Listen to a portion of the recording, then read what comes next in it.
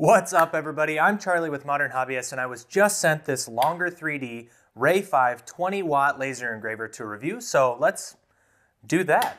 Today I'm gonna bring you along while I unbox it, set it up, and test it out. Let's get started.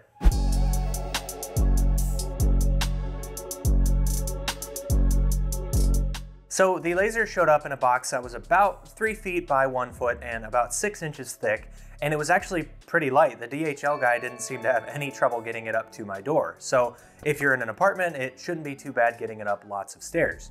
They claim that you can assemble it in about 10 minutes, so I tried to set up a timer to show how long it took me, but instead all I captured was a warning that my iPad was low on battery. In the end, it took me about 40 minutes to put it together, but to be honest, I was watching Archer, so I was pretty distracted. Plus, I kept moving the camera around to capture shots of the assembly, so I think about 20 minutes or so for assembly would be a more accurate estimate. As far as ease of assembly goes, the instructions were fairly easy to follow and all the parts were labeled clearly, which definitely helped. However, there were two things that I think were missing from the instructions. First, Longer 3D sent an air compressor and some rubber tubing with the laser, but it didn't come with any information about how to set it up or when and how to use it. Uh, it seems like it's meant to pump fumes out of the laser module, but from what I can tell, it didn't really have an impact on performance.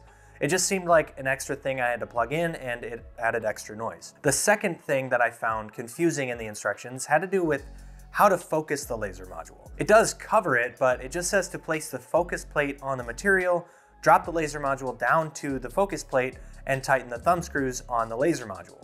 That seems pretty easy, but the instructions weren't clear on what the focus plate actually was, so I had to assume it was referring to this quarter inch piece of acrylic that came with it. Now, I know what they say about assuming, but it was the only thing that resembled the focus plate in the instructions. It just was clear instead of black, so that confused me, which, to be honest, isn't very hard to do. Anyways, now that I've got this thing all assembled, let's go over some of the stats and then I'll see how it actually performs. Real quick, I do wanna mention that I don't accept payment for positive reviews. I'll either be reviewing a product that I bought myself, or like in this case, I'll be reviewing a free sample of a product that a company sends me. And I'll even send it back if they want. But either way, I'll do my best to provide a complete and honest review. So with that out of the way, let's start from the beginning. Again, this is the 20 watt Ray 5 from Longer 3D, which will run you about $800 on their store, at least at the time of making this video. The working area is about 375 millimeters squared, and it claims to be able to move up to 10,000 millimeters per minute and cut up to 15 millimeter pine, and 8 millimeter acrylic in a single pass. It can be controlled with its built-in 3.5 inch touchscreen or over Wi-Fi, USB, iOS and Android apps, as well as SD cards for offline operation. All right, that's a lot of words, but none of them matter. What really matters is what this machine can actually do.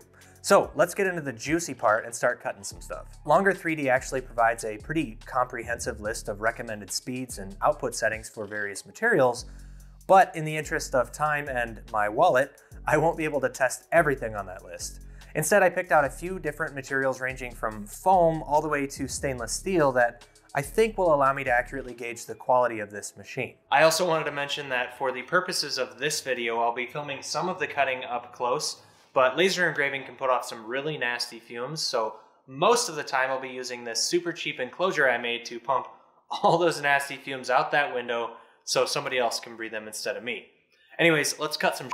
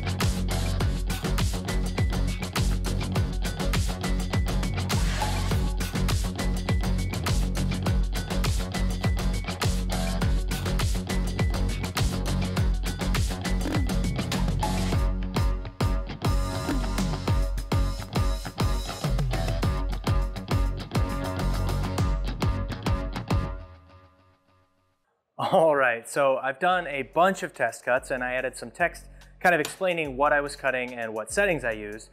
But overall, what do I think of this machine? Well, I have to say that the parameter table provided by Longer 3D isn't very accurate. I found it to be useful in like knowing where to start with the machine, but it seemed like pretty much across the board, this machine isn't as powerful as they say it is. To start, it was supposed to be able to cut through 15 millimeter pine in a single pass, but it couldn't even get through 13 millimeter pine in a single pass, and it barely made it through in two passes. Now, my first thought was that the pine I was using must have been a little bit too wet to get all the way through, but I didn't have any luck with the stainless steel either. It pretty much had no effect at the recommended settings. The engraving just wiped right off and instead of cutting it, it just marked it. The focusing process for cutting the stronger materials was a little bit weird too. It recommended focusing it with the focus plate and then lowering it by three millimeters. I'm not sure what would be the best way to accurately lower the laser module three millimeters, but I just did my best to find some material that was three millimeters thinner than the focus plate. Anyways, that's my two cents on the performance of the machine. Now let's talk about some of the more non-functional pros and cons. The first really big con for me, and maybe only for me, was that I couldn't get it to connect to my home Wi-Fi for a really silly reason. It turns out that the touchscreen keyboard that pops up doesn't contain one of the special characters in my Wi-Fi password. I tried everything I could think of, even reflashing the firmware with my Wi-Fi credentials hard-coded, but I just couldn't get it to work. Now, as weird and frustrating as that was, it did bring up one of the biggest pros I had for this machine, customer service. I reached out to Longer 3D explaining my Wi-Fi predicament, and they not only responded really quickly, but they also sent me the configuration files and the firmware binary to hopefully help me out. I was ultimately unsuccessful, but I was really happy and impressed with their support efforts. But back to the topic of UI bugs, there was also a really weird issue where I couldn't get the motors to unlock after booting up until I exited the control screen, sometimes more than once. This one wasn't as debilitating as the Wi-Fi thing, but it was definitely annoying. All right, next up, I want to talk about the safety features. This one was a big one for me because laser engraving is not as safe as these open air companies would have you think it is. I know, pretty rich coming from the guy who just filmed a bunch of open air laser engraving. I was standing outside for the most part, okay? This machine has a tilt sensor, a flame sensor, a data connection loss shutoff, and it'll stop engraving if it stays motionless for 10 seconds. And they were spotty at best. The tilt sensor, the motion sensor, and the data cutoff sensor all seem to work most of the time, but I could not, for the life of me, get the flame sensor to work. And I tried really hard. I even took the PCB out and put the flame directly on it, which probably wasn't smart.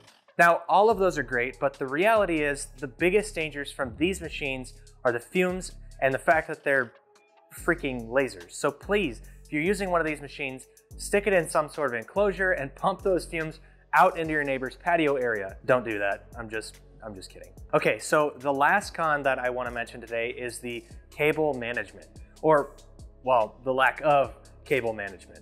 I'm assuming it was skipped in an effort to save a little money, but I think that raising the price 10 bucks and slapping some cable chains on there would make a huge difference. As it is, the cables bend and twist like they have a mind of their own, and a few times they twisted onto the workpiece, which got really annoying. So overall, with the bad cable management, the UI bugs, the shoddy safety features, and the fact that it couldn't cut all the way through the materials that it said it could, I'd have to give this machine a 5 out of 10. But taking into account the awesome customer service and the fact that it's one and a half times cheaper than all the other competitors on the market, I'd bump it back up to a five and a half. But in the end, that's just the opinion of one random YouTuber. And like one of my viewers said, that's why you never take advice from YouTubers. Anyways, those are my thoughts on the Longer 3D Ray 5 20 watt laser engraver. If you liked what you saw, then I'll have a link down in the description to the machine, and if I missed anything or screwed anything up, let me know in the comments or hop on my Discord server. Otherwise, that's it for this video. Thanks for watching, and I'll see you guys in the next one.